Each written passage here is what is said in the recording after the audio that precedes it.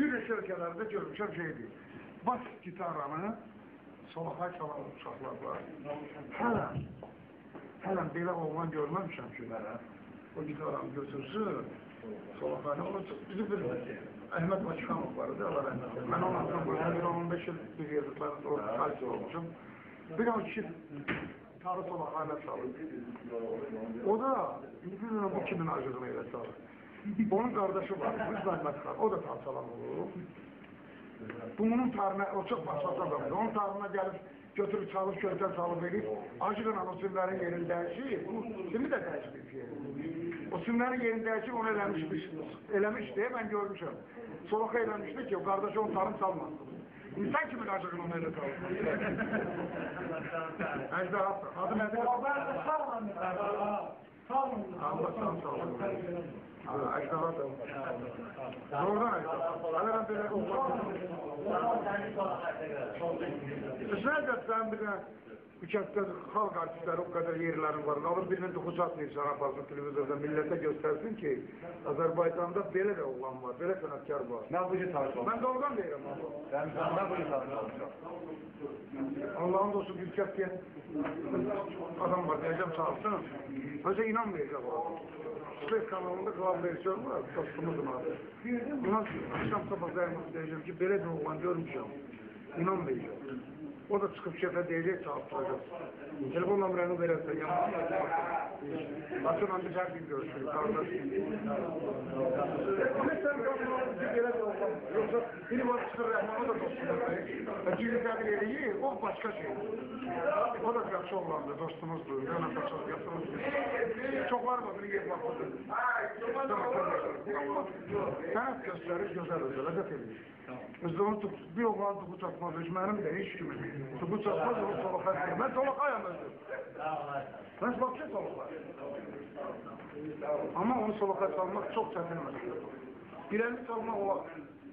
Mesela ben iki elimden iki instrumentine karmonik çok eserler çalabilirim. Mozart'tan da, Anılar. Onu da edebilirim.